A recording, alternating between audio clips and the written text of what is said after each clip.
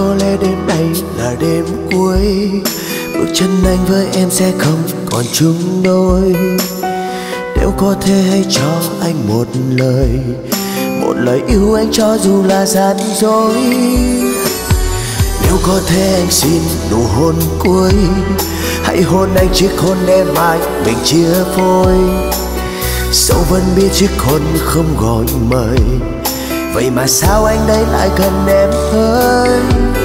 Có lẽ anh mong em vì mãi mất em sao người. Còn vài phút nữa mình sẽ tình mình chính thức tan vỡ. Người bước đi, người đứng đây, hai thái cực khác nhau. Người bước theo cuộc tình mới, người dõi theo cuộc tình cũ. Một người khóc một người sẽ quên. Tình mình có lúc giang ra tình có lúc như thế. Tình đến đây rồi bước đi như chỉ là giấc mơ là giấc mơ thật sao? Người bước đi thật sao? Cớ sao ta lại đứng đây một mình? Trong cuộc sống này, đôi khi có hai thái cực khác nhau giữa hai con người. Một người khóc, một người cười. Một người đứng đây chờ đợi một người, còn một người bước đi bên cuộc tình mới. Đó chính là hai thái cực mà chúng ta phải đối diện trong cuộc sống này.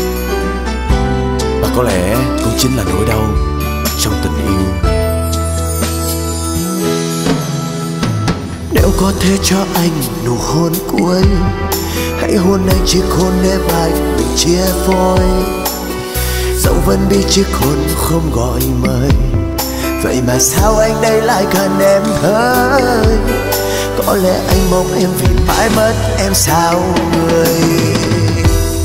Còn vài phút nữa mình sẽ tình mình chính thức tan vỡ. Người bước đi, người đứng đây, hai thái cực khác nhau. Người bước theo cuộc tình mới người dõi theo cuộc tình cũ. Một người khác, một người sẽ quên. Tình mình có lúc sang ra tình có lúc như thế tình đến đây rồi bước đi như chỉ là giấc mơ. Là giấc mơ có thật không? Người bước đi có thật không? Cớ sao ta lại đứng đây một mình? Chỉ vài phút nữa mình sẽ tình mình chi thức tan vỡ. Người bước đi, người đứng đây, hai hai cực mà khác nhau. Người bước theo cuộc tình mới, người dõi theo cuộc tình cũ. Một người khác, một người sẽ quên mình có lúc sao sao tình có lúc cứ như thế. Tình đã đây rồi tình bước đi, như chỉ là một giấc mơ. Là giấc mơ có thật không? Người bước đi có thật không? Cớ sao ta lại đứng đây một mình? Là một giấc mơ thật sao? Người sẽ đi thật sao? Cớ sao ta lại đứng đây?